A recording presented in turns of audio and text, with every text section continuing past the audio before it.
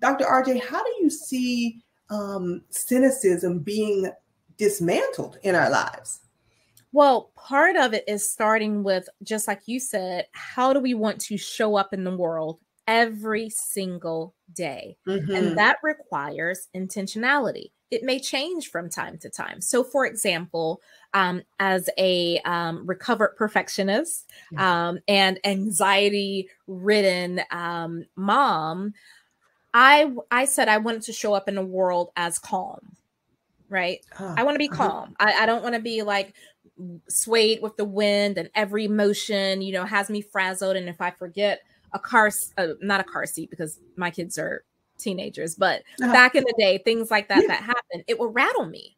And so I got to a point saying I wanted to be calm. Well, in order for that to happen, I had to be intentional every single day every chance I got to show up as that person. Mm-hmm. So we mm-hmm. dismantle cynicism by being intentional of using every moment we have to show up as the person we like to be.